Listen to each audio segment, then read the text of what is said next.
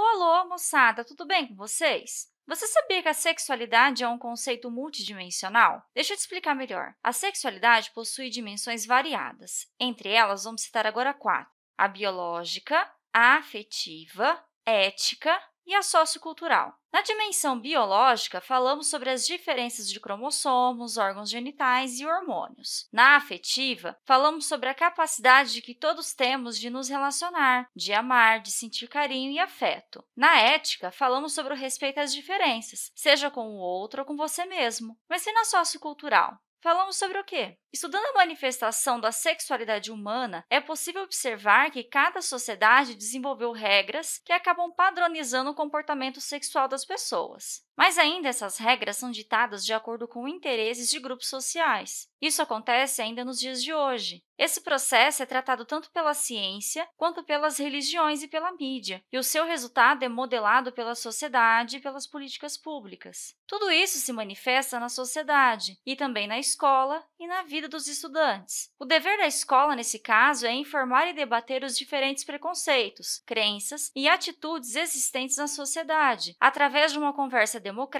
e baseada no conhecimento científico. Isso para buscar uma nova visão baseada em valores, em respeito, solidariedade, justiça e cidadania. Você já parou para pensar como eram os adolescentes no passado? Não estamos falando da época em que seus pais ou seus avós eram adolescentes. Estamos falando de épocas bem antes disso. Talvez você se surpreenda ao saber que esse período da vida de qualquer um de nós nem sempre foi reconhecido. Mas atenção, tá? Antes de prosseguirmos, devemos ter em mente que adolescência e puberdade são conceitos diferentes. Quando falamos de puberdade, estamos nos referindo ao conjunto de transformações físicas e biológicas que meninas e meninos sofrem e que nos preparam para a idade adulta. A puberdade marca, então, o início da adolescência. Até a Idade Média, não existia sequer o conceito de infância. As crianças eram vistas como adultos em miniatura. Foi só a partir da instituição da escola, a cargo da igreja, que se passou a considerar a infância uma fase diferente da idade adulta. A adolescência, então, só começou a ser percebida como tal bem mais tarde, entre os séculos 19 e 20, com o desenvolvimento da psicologia, que passou a estudar os aspectos emocionais associados às mudanças físicas iniciadas na puberdade. Desde que o adolescente passou a ser percebido como tal, os desafios que ele enfrenta foram reconhecidos como profundamente marcados por sua época. Converse com seus pais e questione como foi a adolescência deles você vai perceber que pode ter sido bem diferente do que você está vivendo agora, apesar de que a intensidade das emoções, orientadas pelas ações hormonais, são sempre as mesmas. Hoje, os desafios enfrentados por você neste momento de transição estão relacionados à manutenção da sua individualidade, diante de uma sociedade voltada para o consumo tecnológico, cultural e de identidade. É importante você se sentir parte de uma tribo, um grupo cujos ideais você possa se identificar. A boa notícia é que hoje, mais do que qualquer outra época, você tem ao seu alcance a informação de qualidade, seja na família, na escola, seja em outras instituições da qual você possa vir fazer parte. Assim, concluímos que a dimensão sociocultural da sexualidade trata da influência dos padrões sociais e culturais sobre a impulsividade sexual do ser humano,